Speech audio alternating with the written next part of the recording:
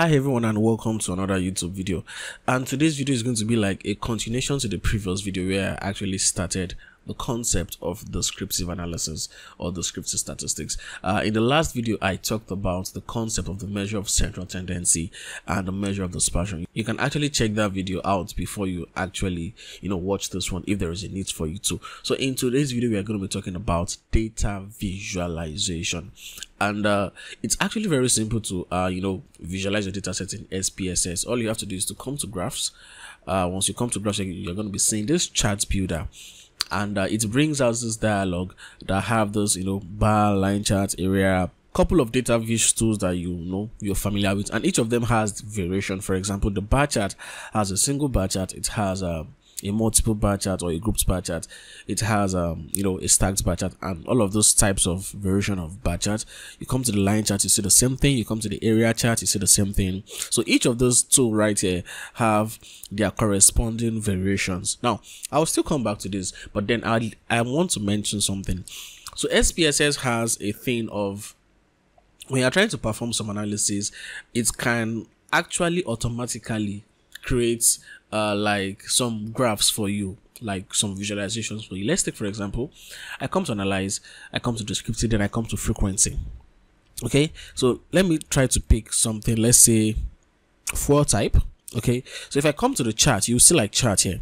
So for you to analyze the frequency of the whole data of, of this variable rather you're going to be seeing like three charts. So it can plot a bar chart for you, can plot a pie chart for you, and it can also plot the histogram. So once you just click on the bar chart, continue, and you click on OK, it's going to automatically, you know, first of all, analyze the frequency for you. Oh, so for this car data set, 9.8% uh, are using diesel and at 90.2% are actually using gas. And this is like a simple bar chart, you know, to actually um, visualize just this diesel and four. But you can actually do this in the graph section. So let's go back to our data set. So let's come to uh, graphs, charts builder, and then before you use any data visualization tool you have to know the type of data sets that you have. Some visualization tool can be used to analyze just a single variable. Some can be used to analyze uh, two variables at the same time. We call that bivariate analysis. Some can only work on categorical variables that is variables that cannot take a numerical value such as the bar chart and the pie chart. Some can be used to like analyze numerical variables we have the scatter plot we have the histogram. So each of these uh, data viz tools right here actually have uh, the conditions in which they can actually work the type of data sets in which they can actually work with the scale of data sets that your data sets need to be for them to actually work. So i actually have a video that is talking about all of those maybe not all of them but couple of this um, data viz tool and when to use them and how to use them. So you actually need to understand each of them before using them. So I'll also be linking that video in the top right corner. Uh, you can check that out. In fact, it's a playlist of like, I think six or five data viz tool. Yeah, six, five of them. So it's going to help you to know when to use them and why to use them.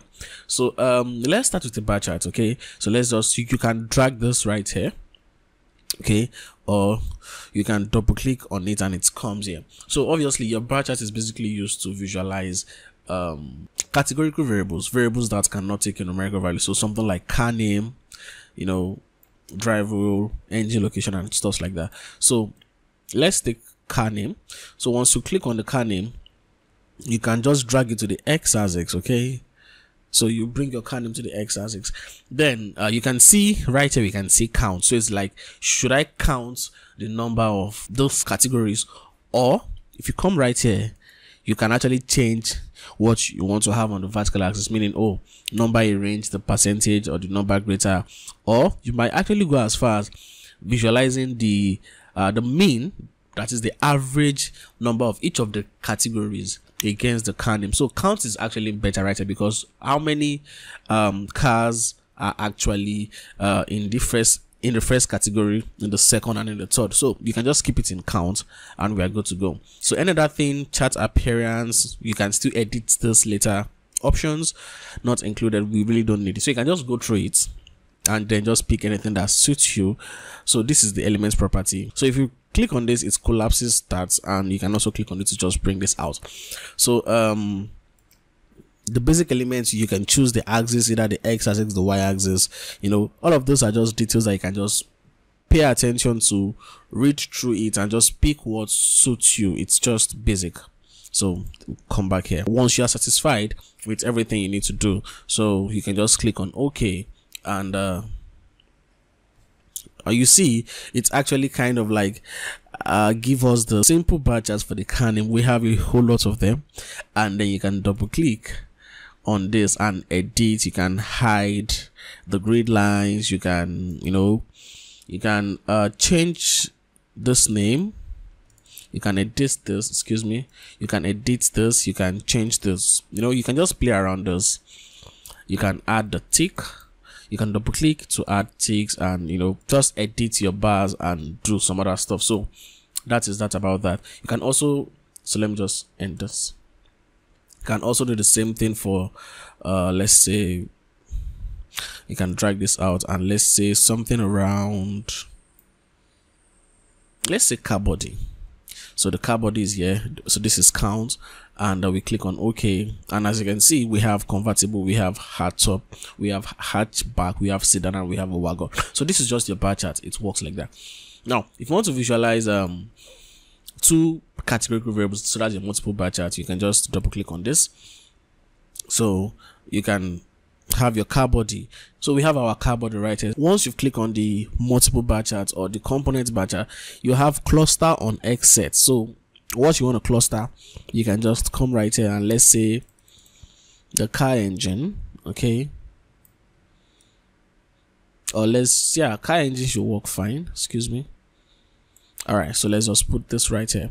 All right once you do that you see it creates this um a preview if i can use that word. And once you click on ok you can see this already. And you can also double click and edit your you know edit it the way you want to do. You can edit this name you know. You can also edit this and just can say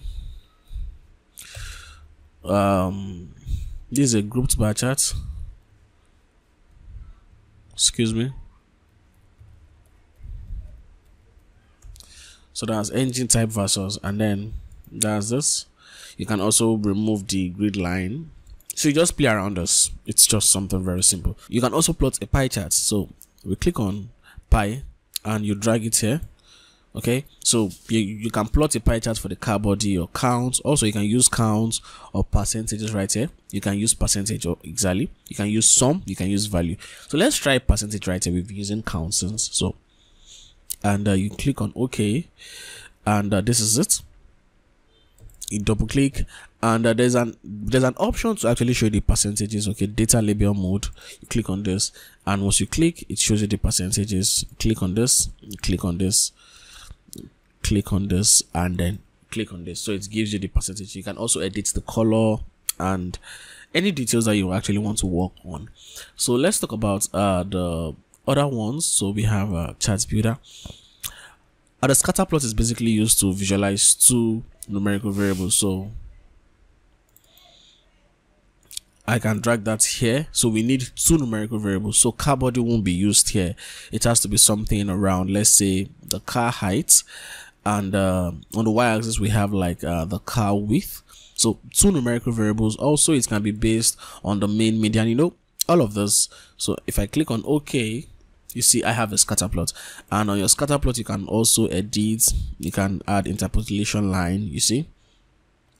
You can actually uh, remove the grid line exactly. You know you can do a lot of things right here.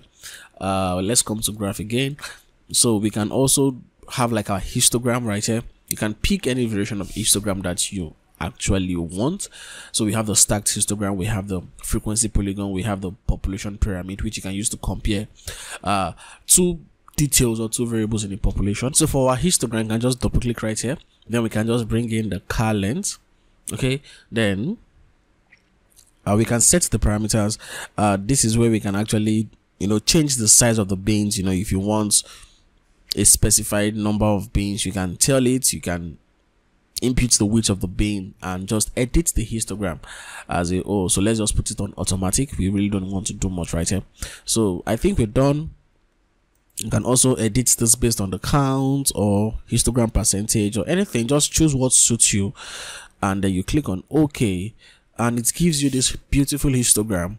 You know it also have this data right and this information right here about the data. So we have the mean the standard deviation and you know the size of the data set. You can also edit this. So um let's talk about um okay the box plots the area chart all of those are things that you just use. Let's talk about the box plot. So for the box plot we can actually see a couple of variations. So i'm going to like just click on this. Okay so it asks us for the x axis. So just put any numerical variable right here okay and uh, it gives you a 1d box plot of car height. And when you click on ok you see this you can edit it the way you want to do and details like that. The same thing works for all of the data viz tool that we have right here. Just pick it understand each of them. That is the key. Make sure that you understand what each of them do when to use them and how to use them. And playing around all of those you know variations right here is going to be like easy and very you know simple for you to get so that is all about visualizing data sets on IBM SPSS. I hope you enjoyed this and uh, if you learned something new, please don't forget to subscribe to this channel and also turn on your post notifications to get notified when I release new video. Thanks for making it to the end of this video and we'll see you in the next one.